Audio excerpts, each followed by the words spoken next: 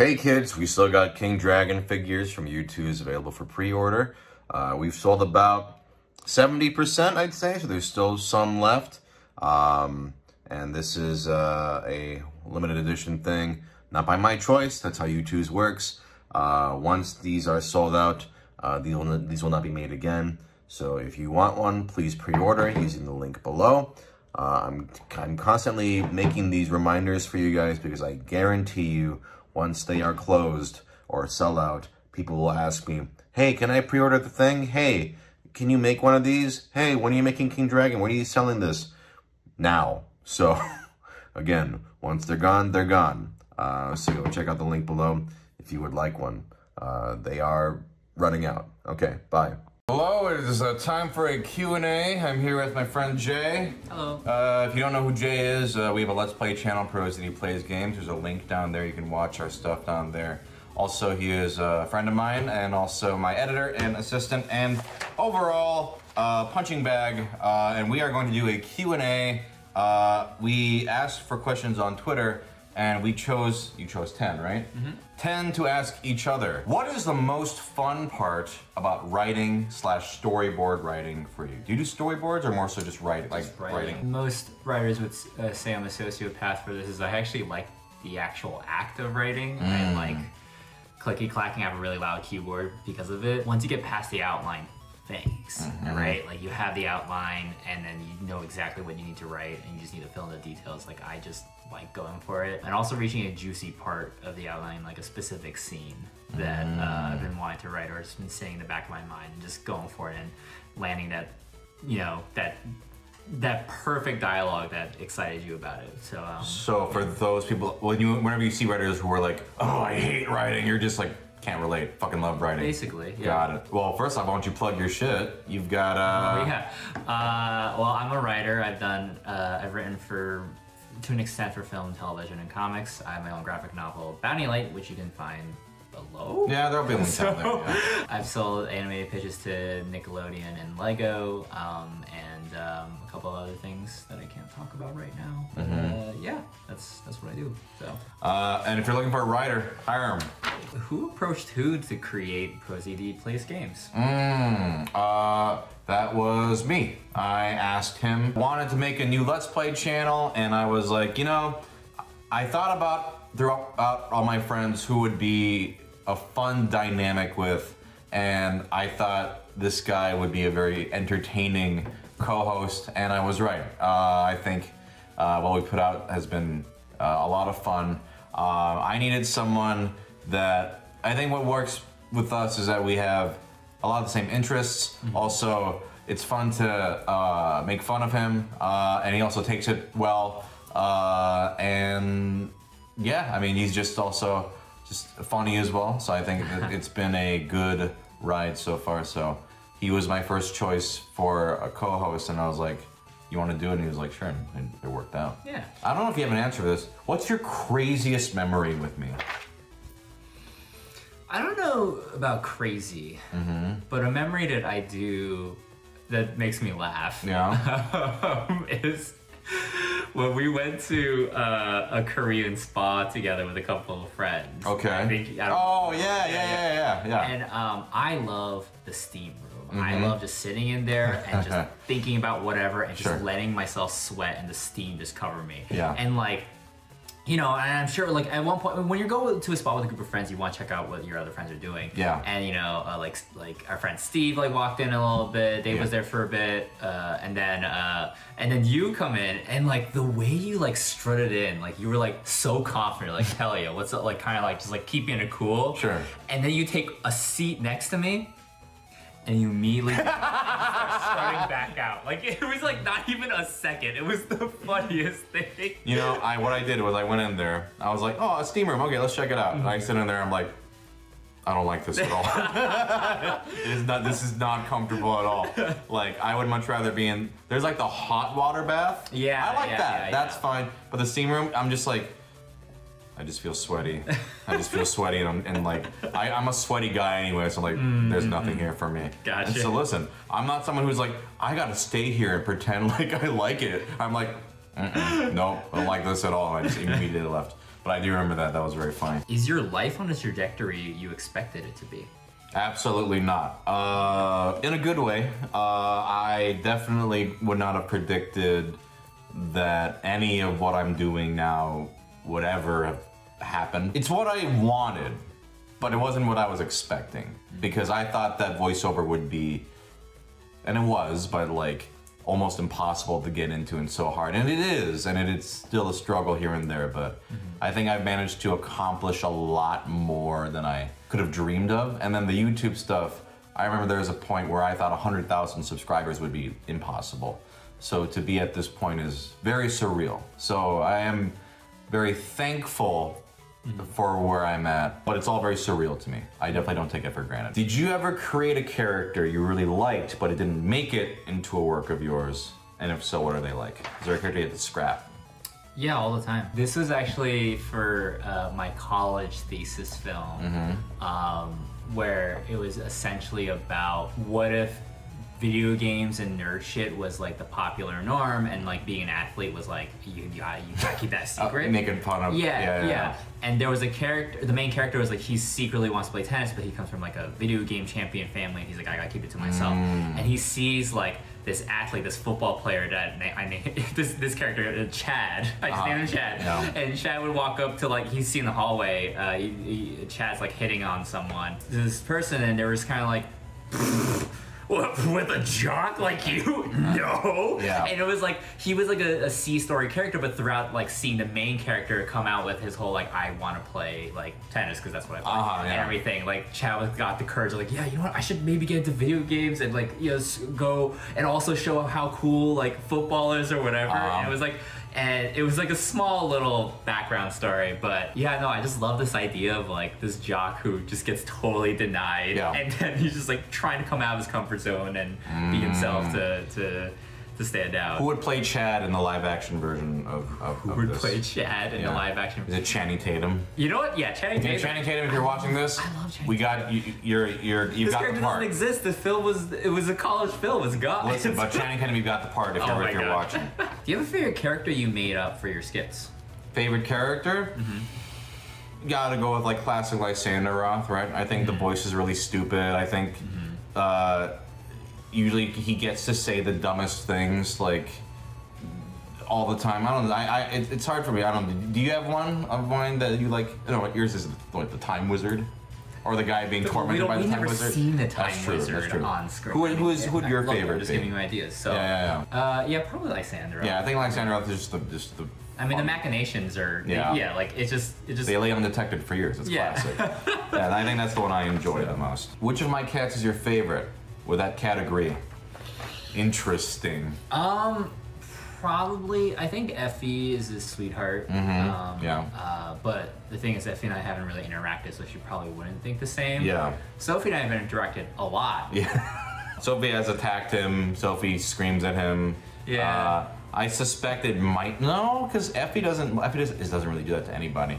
Maybe Sophie just smells Mungie on you and is like, "You're just a big cat." But the thing is, that wasn't an issue before. then I think Sophie just wants to kick. Yeah, I think ass. that's what it is. I think Sophie, Sophie. can, Sophie sees in you what I see in you, and it's a walking punching bag. Oh, God. So she's like, I gotta, I gotta go for it. Right. And She's Sophie, following. Oh, cats imitate the owners. you so know, I think sense. so. I raised her right. I'm, I'm proud of you, Sophie. What separates professional level voice acting from an amateur? I think that may be an interesting. Hmm, okay. I mean, it's really just besides the obvious, you're getting paid for it, but like, I think to get to that level of professional, it, there's a level of not just basic skill, you know, like in terms of you can't be like stumbling over stuff, you know, enunciation, but uh, I think once you get to a level of confidence where you can walk into a, into a booth um, and feel rel- well. I don't know because different actors deal with it differently. I know some actors get nervous a lot. I don't, but that's because I've been doing it for a long time. So I guess the best way to put it is professional voice acting is when you've polished your skills to a level where you when once presented with an opportunity you can do the job and not botch it because there have definitely been stories i've heard where people weren't ready for opportunities and kind of like faltered, right? Like they, like they they stumbled at the wrong moment because they were not ready at that moment. I see, and I I think that's what separates the pros from the amateurs is when uh, when presented with the opportunity, uh, you can nail it. Right, Um, right. That's when I guess you're ready. And to get to that point, you know, you got to develop the experience and, you know, or classes or whatever you need to get to that Sure, point. sure, sure, sure. Because I consider, you know, you know, like indie games, that's professional voice acting, right? Mm-hmm. Like if you're getting paid to do, if someone is paying you and you are doing a good enough job to earn that, that is professional voice acting. Mm-hmm. But to get to that point, you got to build up the skills and confidence to get there. Gotcha. Who's your favorite One Piece character that isn't Luffy? Like among the Straw Hats, Let's say, yeah, go with that first. I mean Nami. Nami, I knew that. I love Nami. Non Straw Hat. Buggy. Buggy the Mm, Clown. that's a good choice. Yeah, Okay. I love that king. Yeah. If you were to cast Jay for a voice actor role, what type would he suit the most? I think I know this, but Interesting. Couple answers. One, you are a protagonist. You are a walking anime protagonist. Like everyone who watches the channel, the Let's Play channel is like, oh my god, protagonist energy. Like, I've never related to a protagonist in an anime video game, how they react to things. And then when I met you, I'm like, oh, this is what that person is like.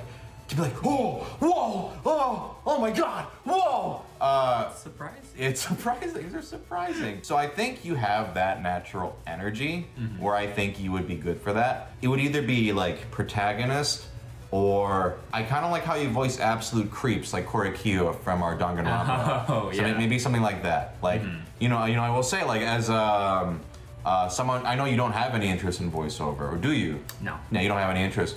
I will say you you you have a you have a knack for it. Like I think I think you're actually quite quite good. Obviously, you know, if you actually really dedicated and then I think you could get polished to like a professional level. But I think instinctually when we do the let's plays and you read dialogue, I'm like, no, you have a very good understanding of like how emotions should be Mm. Yeah. Uh No, that's should go. No, I, I appreciate it. I mean, it's it's fun. It's just Yeah. fun for me. It's fun to like. I love table reads when we're, when we're going over a script together. So I like putting my all into something. Mm-hmm. Uh, but I have no interest in it because I don't want to reallocate all my skill points to a new skill. If you were a if you were a creator of a show, would you cast yourself in a part? No. Not even a minor part, not even a cameo. I don't know. I know. Okay, you're like no thanks. I, it's more so just like there are better people out there. You know, people more deserving. So like, why not? Yeah, So I think that's totally fair. All right. If you were a furry, what kind of furry would you be? Do you have a persona? I don't have an official persona, but I feel like I'd be a bird. Of course. A friend of mine drew me as a bird before. I mean a jay. Uh, well, not necessarily. Uh, yeah, that's true. I think I feel like I'd love to either be a rose finch, because pink. I don't know what that is. Um, it's like a small bird. It's Oh, like okay, yeah. And then, uh, or a really dumb flamingo. I say dumb because flamingos are tall and lanky, but it Yeah. should all. But that's like flamingos are graceful. That's like what we see, and I don't. I, I grace is of uh, is is an adjective seldom used to describe me. I feel like. Mm. Are there any board games you want to play on cam? Interesting. Yeah. I think if I had the setup, I would. It'd be fun to do board game streams. I think the easy answers are some. I'm looking. We're literally looking at my board game shelf over here. Sure. Party games like Secret Hitler are really easy. Times Up, I think, would be hilarious to do. Um, I mean, I've done. I mean, I've done stuff on Board Game Arena, but we're talking like on camera. Yeah. Even like Perudo, like Liar's Dice would be a lot of fun. Just anything that's like a really fun sort of party game. That's I think the best Yeah. stuff to watch. That'd be cool to have a multicam set to look at people's faces too. The dream would be if I had like a camera crew that like had multiple cameras and like I don't know, just like yeah, just reaction shots or something. I- I, think yeah, that'd be yeah. super fun. But Cool. uh, yeah, something like that I think would be cool. What got you to start dyeing your hair? When did you start, and what got you to do it? I, I mean, when, when I was in the fourth grade, my mom uh, had bleached, uh, had me bleach my hair once. Um, Okay. And then it was considered too dynamic, I guess. Mm, by your school or your mom or you or Both. Okay. So- So, they were like, no, we can't do that. yeah, and Okay. but I start. Uh, I actually bleached my hair again my freshman year of college. A friend had ex- extra bleach powder and was like, "Do you want? Do you want to just bleach your hair?" I was like, "Sure." Mm. Yeah. And it was not good. It didn't look good. Sure. But and I remember my mom was gonna pick me up uh, from my dorm to go back home for the holidays, and she's talking. She's talking on her phone, like in the car, just like, and I'm like waving at her, like, "Oh, it's me, it's me," and she looks and just goes. and she just starts driving away. I had to run down the street to go get her. She was really mad at me. Uh, and then, but since then, I just kept. I, that's when I kept trying to push her, especially when I started getting tattoos. And stuff. like, I was like, I just kept doing things. And She's like, fine. yeah, she's she's getting more and more mad, but now she's like used to it. Ever since then, like every couple months and throughout college, I just dye my hair a different color. I asked uh, one of my best friends in college, I was like, "What color should I do?" He, he would just say whatever color. Like, cool, doing that next. You know, I would go to whenever there's like a big school event um, because college, they would know that people recognize me as like, "Oh, that guy always changes his hair color." Or whatever. okay, so yeah. you know, it's like a, a big big video game tournament or a big like community thing, and people would just vote on my hair color. You know. Funny. So uh, yeah, I don't know. That's What's the worst color on you? the worst that you tried? color? You're like, mm, this one doesn't. really There work." was a time I was tr- I was rushing and uh, rushing like my hair job, Yeah. and because I used to do it myself a lot, and Yeah. now I just don't do. I don't. want- I don't feel like doing it myself anymore. Mm. But uh, I, I I mixed colors wrong, and it came out to a weird green brown. It looked like shit. Yeah. That was that was Sounds pretty like bad. some but, vomit. But in terms of natural colors. I don't know. I think they all look good on. This guy. I might have told you this, but have you ever shaved your head? yeah. You know I did? Yeah, yeah. Yeah, yeah, yeah. Yeah. Uh, for those of you who don't know, I shaved my head uh, for cancer awareness at school on impulse. And uh, funny enough, you know, because your your story reminded me of it. Yeah. I walk out, my mom comes to pick me up, and she goes, "What?" but she was fine with it. I was, I mean, it was just funny. And it, it, I think it, it's fun to shave. I think everyone should shave their head at least it once. feels so good. yeah, I've done it twice now, I- uh, and it's uh, it feels really good every time. I did it because my hair started melting from bleaching it too much. Oh, okay. So I Yeah. Mm. was like, I need my hair to regrow and like stronger. And when I when I shaved my head and played tennis, I was like the most aerodynamic in my life. You're I- like the most efficient. I, kid you not. Yeah. Like, dude, one hair strand in my eye, I'm like, I'm ruined. like, you know what I mean? It just gets in the way. I get distracted. So, mm, like a jet. Got it. if you could do another like wicked experience slash luxury food tasting video, what kind of food would you try? So I did the caviar one. It's the only one I've done that's like super fancy. I mean, if I can choose, let's see. There's like there's like A5 wagyu, right? Mm-hmm. There's um, you know truffles. There's mm-hmm. foie gras. If I had my choice, there's all wa- all wagyu, all delicious is kind of the same. It's just mm-hmm. fatty and delicious, Right. right?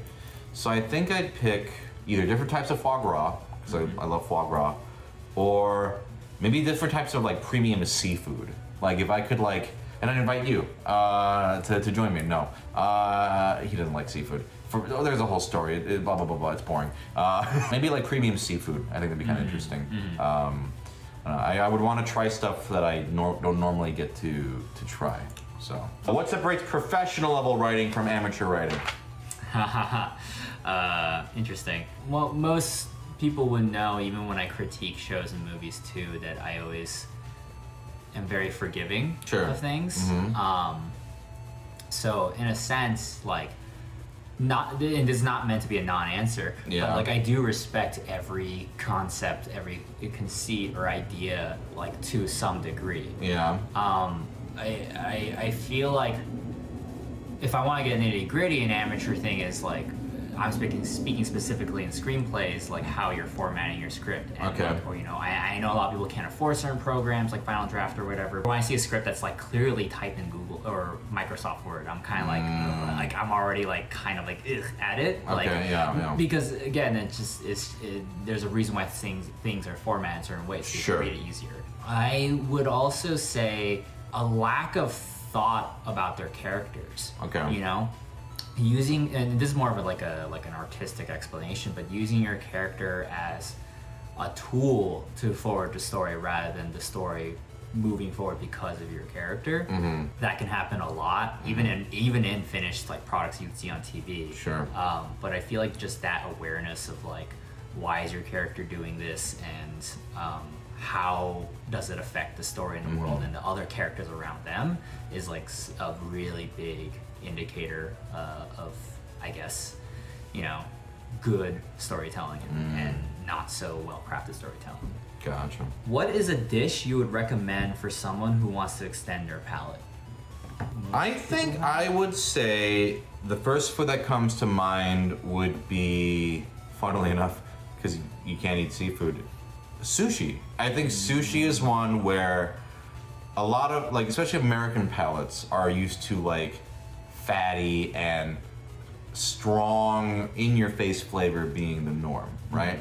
But with sushi, um, you get a lot of variety of flavors, a lot of subtle flavors where you can go, oh, like, you know, the the richness of say like raw salmon is different from like a cheeseburger, right? Like that's like very salty, like in your face.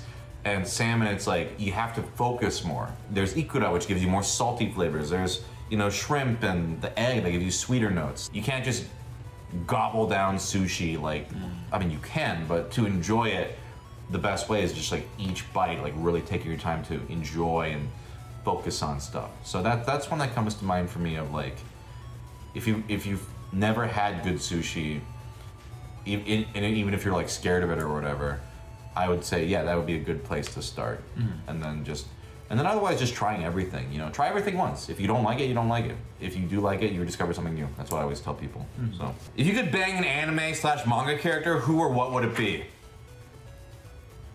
I don't know. What?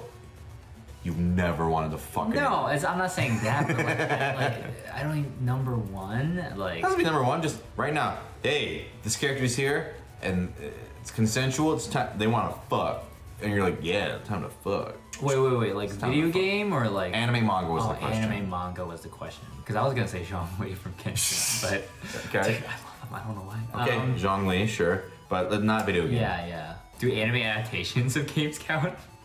What are you? What is your answer? I was thinking uh, Takemi from Persona 5. I can't. Oh, the doctor. The Doctor. That's a valid answer, but how about one that's not an adaptation? Not an adaptation. For male, uh, Taki Sensei from Sound Euphonium.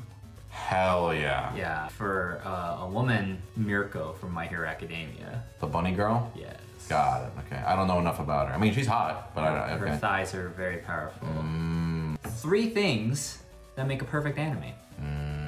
First and foremost, characters. I'm saying this because I'm watching one right now.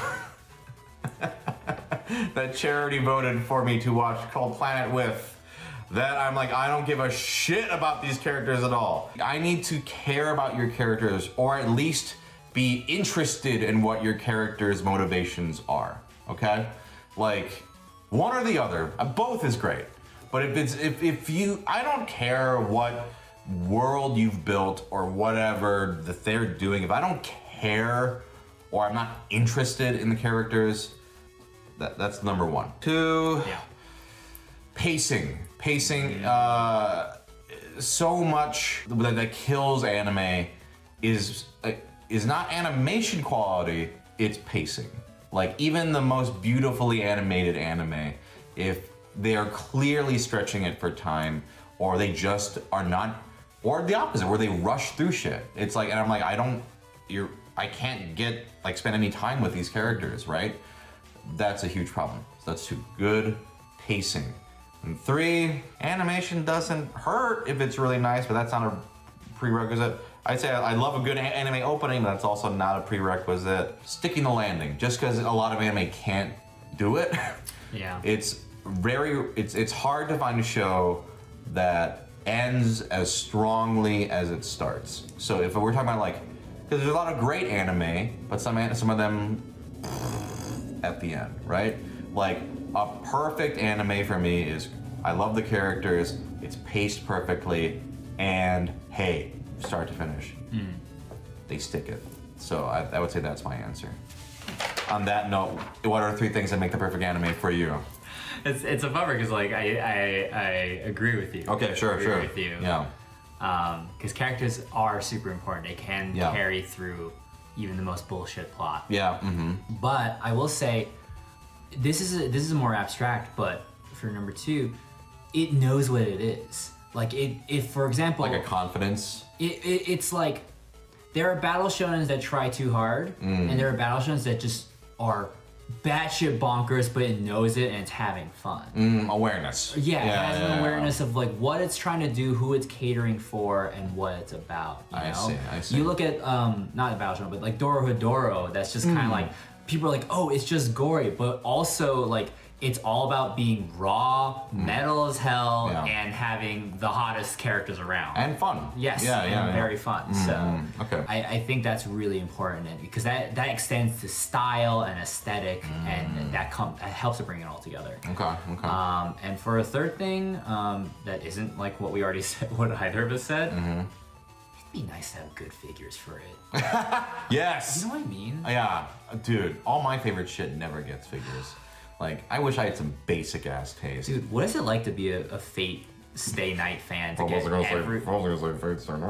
But like, well, well, like, like a because- sword art. No, because I, I like for me, I'm like I'm not I'm not crazy into Fate. I, I like Fate Zero, but like they have a figure for everybody. they do, for yeah. everybody. It's Yeah. insane. Some of you, some of you eat real well. yeah. Meanwhile, I'm like, I'm starving over here. I want just one, just one figure, please. Is there one thing you've always wanted to know about Jay?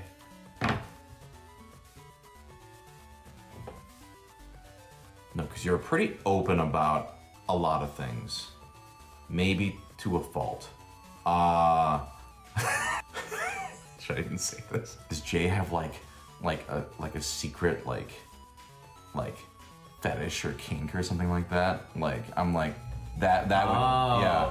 But that Yeah, I'm but- super into. and even that I like don't care. You But know what I mean? That- that's- that's, not my business. Also, like that's like personal shit. You know? See, that's what I mean. Like Yeah, anything I can yeah. think of, I'm like, it's like personal stuff, you know. it's like it's stuff like I don't really.